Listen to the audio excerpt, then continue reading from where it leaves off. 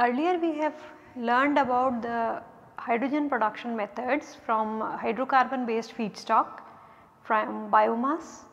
Uh, hydrogen when being produced from all these feedstocks releases a lot of emissions and these are released into the environment. The advantage of hydrogen as a green energy carrier is diminished if so much of emissions are released into the environment. Now one of the method for producing hydrogen could be producing from water, splitting up of water. The energy which is required for water splitting can either come from heat, then the process is called thermolysis. That is the splitting up of water when subjected to heat. If it occurs by means of both heat as well as certain chemical steps involved in between then thermochemical cycles by means of light that much amount of energy is being provided then photolysis with electrical energy input electrolysis if occur in the biological systems with the help of light photobiological certain electrochemical processes occurring with the help of light then photoelectrochemical processes. Now when hydrogen is being produced from water splitting the only products are hydrogen and oxygen. So, the resulting emissions which were there in case of hydrocarbon based methods of production are not there when it is being produced from water. But that all depends upon where from the energy which is required for splitting the water comes from. For example, if we look at the process which is thermolysis which involves direct dissociation of water to produce hydrogen and oxygen a large amount of heat is required for this dissociation. The reason being water is a stable compound, it is inert, it is in a lower energy state. So, lot much amount of heat is required for it to break. And if we want this complete dissociation of the hydrogen to occur that occurs around 4500 Kelvin temperature. At 2500 Kelvin a small amount and about 50 percent of it dissociates of the amount which has been taken dissociates around 3000 Kelvin. So, as such we can see that it is a very high amount of heat which will be required if we want to directly spit water in one step reaction. And that all will lead to lot many challenges which could be in terms of the materials challenge to contain that heat and to provide that heat at such a high temperature definitely it is not economical. Besides at that temperature when we are getting hydrogen and oxygen that separation so that it does not form an explosive mixture is also essential. So, if we want hydrogen from water using the single step thermolysis process it has several challenges. Now what could be the alternate is thermochemical water splitting. What do we mean by thermochemical water splitting? In thermochemical water splitting there occurs a multiple step reaction, a series of reaction wherein certain chemicals they undergo a series of processes, they are recycled back to their initial stage. However, the water which is being fed in the reaction that undergoes a splitting to form hydrogen and oxygen. That is what is thermochemical water splitting. With the use of thermochemical water splitting, the temperature of thermolysis could be reduced. So, this thermochemical cycles it is in short represented by TCC. These cycles are known to have higher conversion efficiencies although the theoretical efficiencies of these cycles are high, but when it comes to actual uh, situations the, there are many losses involved as such the efficiencies reduces. At the same time since the hydrogen and oxygen is being produced in separate steps as such the separation is not a problem when we are considering thermochemical water splitting. and the required heat for carrying out the reactions that can be obtained from either a nuclear reactor or from the solar thermal plant or it could be obtained as a from the waste heat or a process heat plant. In fact, the temperature which is required in the processes depending on which thermochemical cycle is considered it vary between 500 to 3000 Kelvin. So, the entire process is wherein water decomposes into hydrogen and oxygen through a series of step and that involves if that involves only heat then it is thermochemical cycle. If it involves heat and another mode of energy whether it is electricity or photonic then it is called a hybrid thermochemical cycle. And in the entire process the chemical, the material which is being used that comes back to its initial stage and splitting water evolving hydrogen in the process. It is also observed that as the number of steps in the thermochemical cycle increases, the step which is having a maximum temperature that maximum temperature also reduces. So, with the increase in the number of steps in the thermochemical cycle the maximum temperature of the cycle it reduces. To look back into the history of these thermochemical cycles, so the work early work it started in somewhere 1960s where European community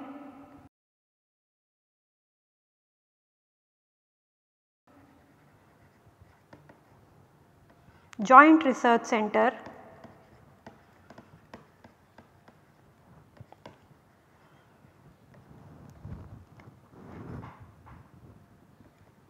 ISPRA located in Italy they identified proposed in fact more than 200 cycles out of that they identified about 24 cycles which could be investigated which could be taken up for further investigation. And this was for a period between 1970 and 1983. This was the beginning of the studies on thermochemical cycles and thereafter contributions came from various studies in Japan, US and various other European Union countries in the year between 1970 and 1980. So, about 200 thermochemical cycles were identified by General Atomics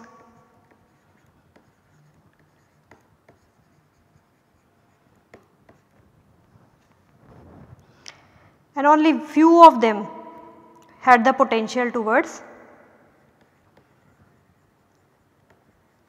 carrying them forward for large scale hydrogen production.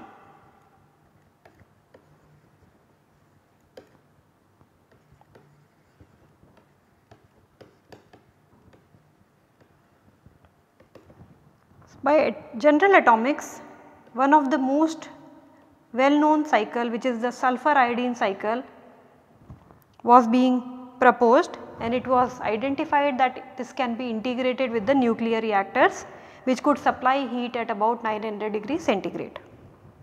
It was in 1972 that the first multi-step cycle was identified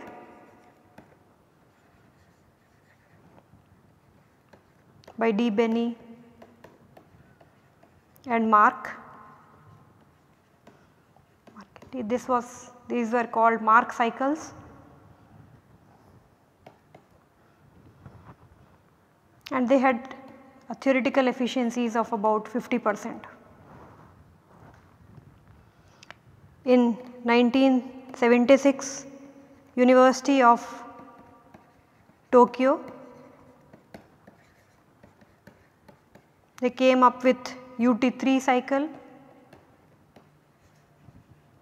that was predicted to have an efficiency of 49 percent having calcium, bromine and iron. It was in by Japan Atomic Energy Agency. Lot of research was being carried out. So, most of the research which was carried out on thermochemical cycles that was at the time of 1970s in when uh, oil price shocks were seen.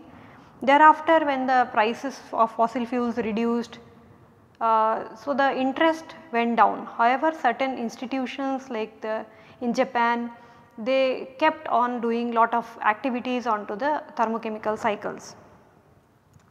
And also the earlier in the earlier time the integration for of these thermochemical cycles for getting the required heat was considered towards nuclear energy.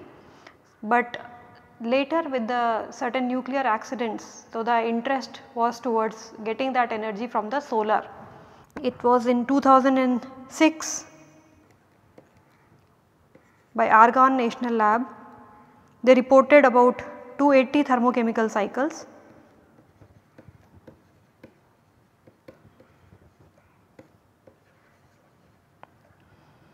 for further studies. It was also in DLR Germany, the German Aerospace Research Center. They worked for 2 decades on the sulfur based cycles as well as for metal oxide thermochemical cycle. In 2007 the Atomic Energy of Canada Limited and University of Ontario. They along with the Argonne National Lab, they started with the project of the copper chlorine cycle. Ontario Tech they have also demonstrated magnesium chlorine cycle in the year 2016 and there has been numerous research which has been carried out on the various thermochemical cycles. Now let us understand these thermochemical cycles a little more better. In the thermochemical cycles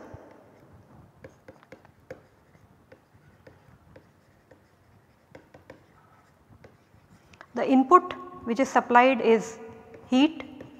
It could be either from the nuclear reactor or it could come from the concentrated solar power and water. The materials or chemicals water whatever are being used they get recycled back to their initial stage producing the two products which is hydrogen and oxygen. So, this is a pure thermochemical cycle. However, if this required input also comes in the form of heat, electricity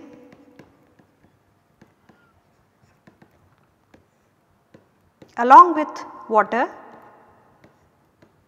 and we get output as hydrogen and oxygen again the materials undergo a complete cycle then these are known as hybrid thermochemical cycles.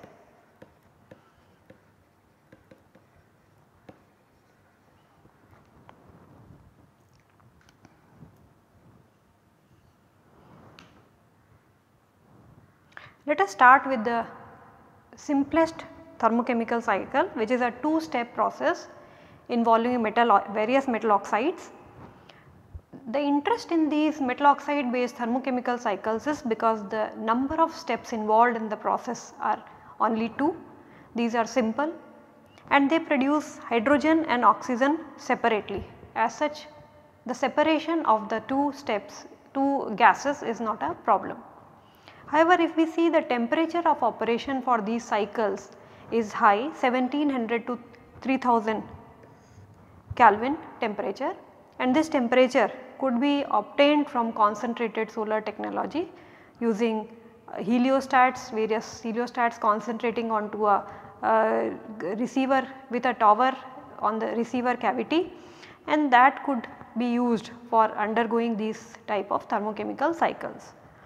But since the temperatures involved are very high there will be losses involved uh, heat losses the efficiency is relatively lower and then there are materials challenges when it comes to getting so such a high temperature. For this particular cycle there are various metal oxide redox pairs which have been studied iron oxide, zinc oxide, cerium oxide, cobalt oxide, germanium oxide. Now let us understand the process first. The metal oxide in its higher oxidation state or higher valence state it undergoes a reaction in such that it goes into its lower oxidation state and producing oxygen. So, it undergoes a sort of reduction producing oxygen in the process. This is basically the endothermic process and usually the limiting process wherein energy is required and oxygen is being produced in the process. Now this metal oxide which is in its lower valence state, it undergoes a hydrolysis reaction wherein oxidation occurs and the metal oxide it comes back to its initial stage. So, it reaches its to its initial higher vessel valence state producing hydrogen in the process. So, the input here is water and what we are getting out is hydrogen. So, the material which is metal oxide completes its com full cycle coming back to its initial state producing oxygen and hydrogen in the process. Now the among the various metal oxide redox pairs which are known and well studied includes the iron oxide pair where Fe3O4 it converts into either FeO or elemental uh, metallic iron and produces oxygen. The temperature of this reaction is high 1873 Kelvin. FeO again reacts with H2O to produce Fe3O4 back and hydrogen. This is slightly exothermic reaction. Now the major issues with this reaction are that since it involves very high temperature there are energy losses at the same time there are oxide the materials related losses.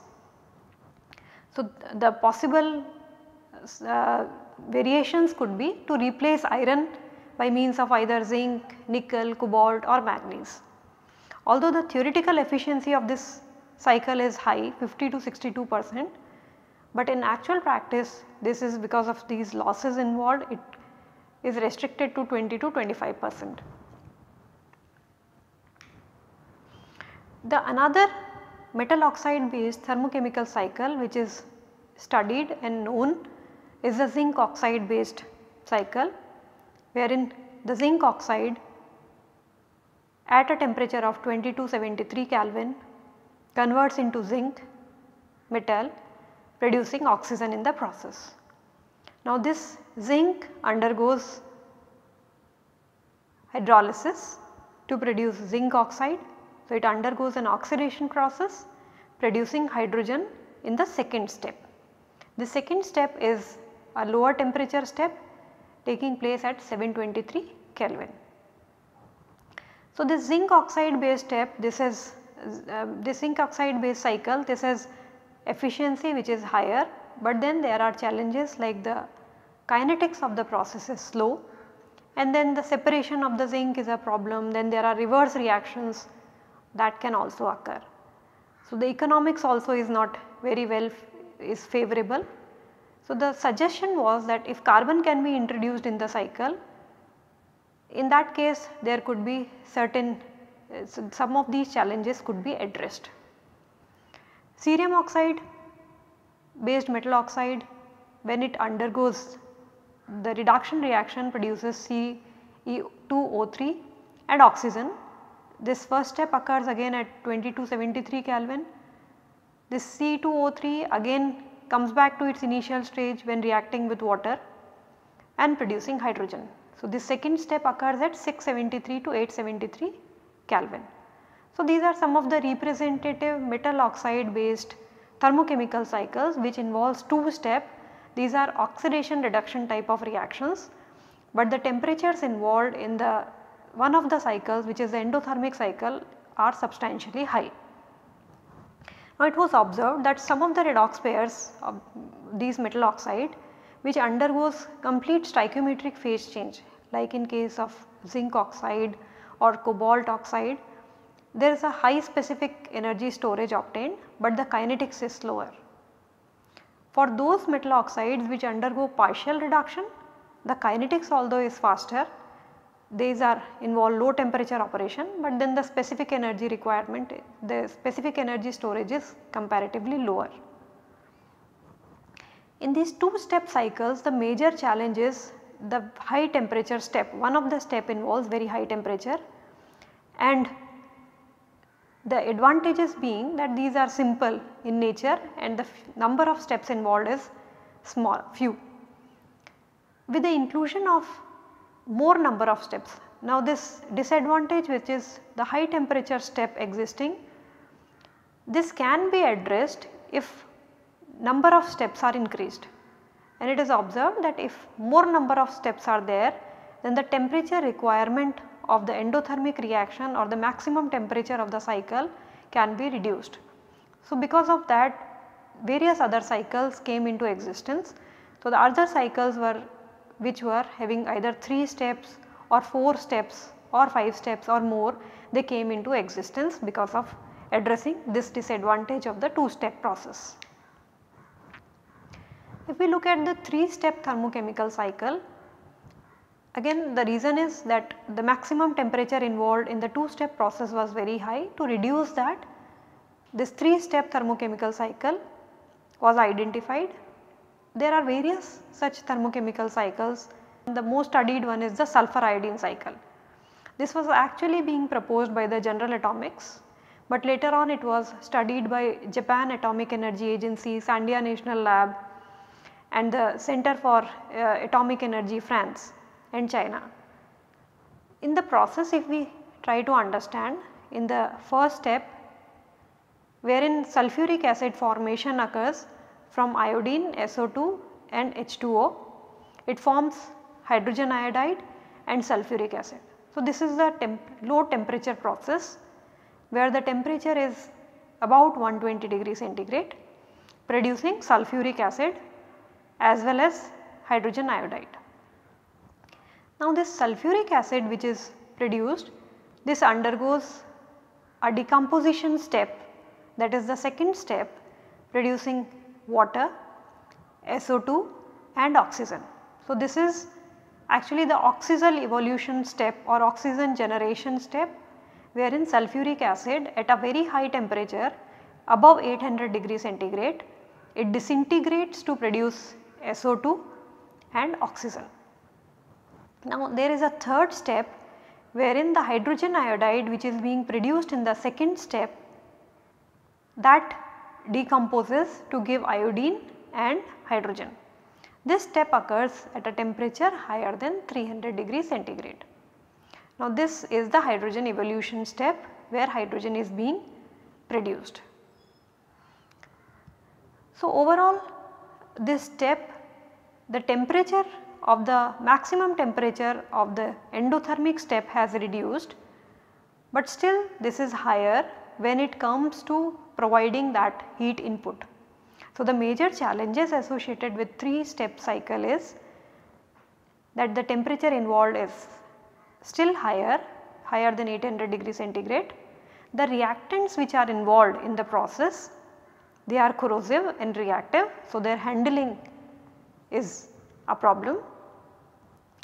Besides in this step the separation of hydrogen iodide from the sulfuric acid when it is occurring in the presence of excess of iodine that leads to significant loss in the iodine. Now this cycle however can be modified and the modifications that were suggested is that this process which is leading to sulfuric acid decomposition which is taking place at a higher temperature can be made such that this input SO2 which is required in the process can come from flue gases. So, in that case the sulfuric acid may come up as a product along with hydrogen and the required SO2 can come from the flue gases. So, the cycle becomes instead of closed cycle it becomes an open loop. Other than that the other modification suggested is that we can also introduce a third step in the two step processes that we have seen that was metal oxide based. Now if we include one more step then so we know that higher the number of steps involved in the thermochemical cycle lower will be the maximum temperature required in the endothermic step. And if it gets so much lower that if any waste heat or process heat which is available in any of the industrial waste heat, industrial processes, if that could be used for the thermochemical cycle then the economics as well as the efficiency works very well. Let us look at one of these such uh, 4 step cycles. So, there are several such 4 step cycles which have been studied, identified and some of these demonstrated already. The FeCl2 which is being produced is from Fe3O4. So, that is the chlorination step reacting with HCl produce FeCl2, FeCl3 and H2O. This is however a lower temperature step which takes place at slightly higher than 125 degree centigrade. Now the FeCl2 which is produced undergoes a hydrolysis step producing Fe3O4 and HCl and producing hydrogen. So, the first step is chlorination step, second step is this hydrolysis step. The FeCl3 which is produced undergoes a decomposition step producing FeCl2 and chlorine. This occurs at a temperature higher than 425 degree centigrade. The chlorine which is being produced undergoes oxygen evolution step to convert into HCl and oxygen and in this process oxygen is being produced. This process occurs at temperature higher than 650 degree centigrade. So, if we can see in this way the maximum temperature of the step is lower compared to the 3 step cycle. Now Argonne National Lab they proposed many cycles based on the thermodynamics, their chemical viability, whatever chemicals we are using. So how viable is the cycle based on those, based on the efficiency, based on the cost. Some of these cycles are like cerium chlorine cycle, copper chlorine cycle, iron chlorine cycle, magnesium chlorine cycle and vanadium chlorine cycle. Now if we look at these among these cycles iron chlorine cycle that we have just now seen this is economical. The cost involved is lower. The vanadium chlorine cycle the efficiency for vanadium chlorine cycle is higher. And for copper chlorine cycle the required maximum temperature is lower. It is less than 550 degree centigrade. Such that any of the waste heat from any industrial plant can be utilized for undergoing the copper chlorine cycle. So, that is the biggest advantage of this process.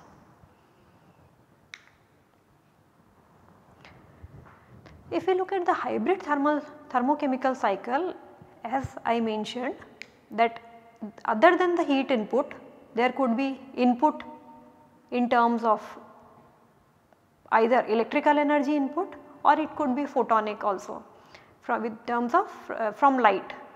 So, here this is one of the modified sulfuric acid cycle which involves only two steps. The first step where sulfuric acid it decomposes to give SO2, H2O and evolves oxygen. So, producing oxygen. This step occurs for temperatures higher than 800 degree centigrade and the SO2 which is produced in the first step that undergoes a hydrolysis to produce sulfuric acid again and hydrogen is being evolved. Now this the power requirement, the electrical power requirement is very low as against the requirement in case of electrolysis. It is a voltage of 0.17 volt as against 1.23 volt in case of electrolysis. The second step is taking place at very low temperature, it is about 100 degree centigrade and this cycle is also a 2 step hybrid sulfur cycle which is also known as Westinghouse cycle or ISPRA Mark 11 cycle. This requires temperature which is lower and waste heat can be used both heat and electricity since are being used in the cycle that is why this is also known as electrochemical thermochemical combined cycle. The overall efficiency of this process theoretical efficiency is 40 percent however the actual efficiency obtained was 28 percent. There were modifications to this cycle which was in terms of Mark V2 and Mark 13A. In Mark V2 other than hydrogen sulphide hydrogen bromide was used while in Mark 13A cycle SO2 it came from the flue gases that was an open cycle and various other hybrid cycles are existing. One of such cycle is the hybrid copper chlorine cycle. This involves 4 steps and these out of these 3 step 1, 3 and 4 these are thermochemical steps and the second one is an electrochemical step. So, copper reacting with HCl produce CuCl this occurs at a temperature of 450 degree centigrade. This undergoes a reaction to produce CuCl2. This is an electrochemical reaction taking place between 30 to 80 degree centigrade. This CuCl2 reacts with water to produce CuCl2 and HCl taking place at 375 degree centigrade. This compound again produces CuCl and oxygen at a temperature of 530 degree centigrade. So, the first step is the hydrogen evolution step and the last step is the oxygen evolution step. Now, this electrochemical energy input requires a very low voltage of 0.4 to 0.6 volt and the maximum temperature we can see is low 530 degree centigrade and this can come from a concentrated solar thermal power. Both Ontario Institute of Technology in Canada and Argonne National Lab they have worked extensively towards developing and demonstrating this cycle. Another cycle is UT3 which was proposed and demonstrated by University of Tokyo as such the name comes University of Tokyo from the University of Tokyo UT. So, UT3 cycle this involves 4 steps and these are gas solid reactions out of these 2 are based on calcium and rest are based on iron. So, calcium bromide CaBr2 reacting with water to produce calcium oxide and HBr at 950 to 1000 K. This CaO produced reacts with bromine to produce CaBr2 and oxygen. So, oxygen is being released at a temperature of 750 to 800 Kelvin and calcium bromide is again produced back. Iron oxide Fe3O4 reacting with the HBr to produce 3 FeBr2, H2O and Br2 taking place at 500 to 550 Kelvin and this FeBr2 reacts with H2O to produce back Fe3O4, 6 HBr and H2. This is the hydrogen evolution step taking place at 950 to 1000 Kelvin. So, these are some of the thermochemical cycles although we know that there are large number of cycles which have been proposed some of them they have got to the developmental stage, some of them they have also been demonstrated experimentally. These can be these thermochemical cycles they have an advantage that they can be integrated with renewable energy input and then hydrogen can be produced on a large scale in a sustainable manner. Now various when we consider the various cycles involved these needs to be considered on the basis of what is the thermodynamics of the process what is the cost associated with the materials with the systems involved, what is the efficiency that could be obtained and how much sustainable these cycles are. Now based on the various studies that have been carried out, the vanadium chlorine cycle is known for its higher efficiency, copper chlorine, magnesium chlorine they are cost effective. At the same time since the temperatures involved are lower, so they can be integrated with the renewable energy either they can be integrated with solar, thermal. Iodine sulfur this the temperature requirement since it is higher these can be possibly integrated with nuclear power plants. But then there are challenges like the corrosion involved and then the metal oxide cycles that we have seen they can be integrated with the solar thermal system. So, this is about the thermochemical cycles. Thank you.